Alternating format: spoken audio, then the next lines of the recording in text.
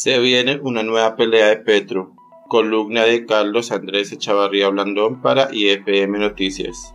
El gerente del Banco de la República, Leonardo Villar, presentó un informe en el Congreso en donde expresó que en los próximos dos años la inflación en el país llegará al objetivo del 3%. Es información que podría ser gratificante para el ciudadano del común, ya que la inflación bajaría del 13% al 3% en solo dos años no es tan buena noticia para el gobierno de Gustavo Petro porque la inversión interna se ralentizaría durante el próximo bienio y disminuiría también la recaudación de impuestos.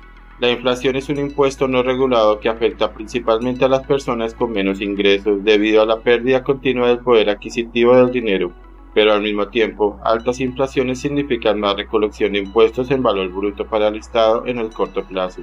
Por ello, por mucho que diga Petro y su séquito, de la Colombia humana que la inflación es mala, para ellos en el poder significa más recursos para destinar supuestamente a planes sociales para ayudar precisamente a las personas que se están afectando por una alta inflación, lo que se traducirá en el futuro cercano en votos para los candidatos de izquierda. Dentro de las medidas que tiene el Banco de la República para frenar la escalada alcista del precio de los productos es encareciendo el dinero y lo hace por medio de aumentar las tasas de interés hoy en el 13.25%. Entre más caro sea un bien, las personas se abstienen de usarlo y allí comienza un desincentivo para malgastarlo. Sin personas dispuestas a comprar, sino que racionalizan su gasto, los costos se estabilizan o incluso comienzan a bajar. Ejemplo claro es el costo de la canasta básica de alimentos.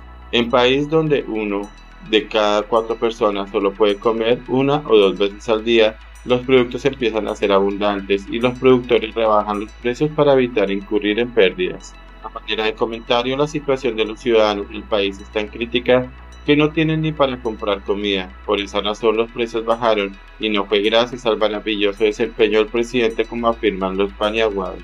Con altas tasas de interés, los nuevos emprendimientos que renten por debajo del costo del dinero dejan de ser viables y así se acelera el desempleo. Pero, si el Banco de la República baja las tasas de interés antes de llegar a cumplir el objetivo, envía una falsa señal de que la situación del país es próspera y la inflación se descontrola nuevamente al alza. Si aumenta el desempleo, el presidente Petro presionará al banco para que baje las tasas de interés y fomentar la inversión. Incluso eso ya está sucediendo con los lugartenientes de la Colombia humana. Pero si el banco cede la inflación de dos dígitos o cercana a ese valor, comenzaría a ser orgánica y se perdería completamente la posibilidad de llegar a la meta del 3% en los próximos años. Esa pelea será para adquirir el balcón. El banco cede y la inflación continuará galopante o el banco se mantiene en su obligación y llegará a una crisis de empleo durante los próximos años. En ambos casos, Petro siempre criticará la medida tomada y buscará por todos los modos posibles tomar el control y acabar con la independencia del Banco de la República.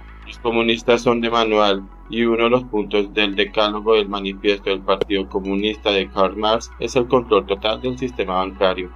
Para llegar a ese objetivo soñado no puede existir una entidad independiente que controle el dinero dentro de la economía humana.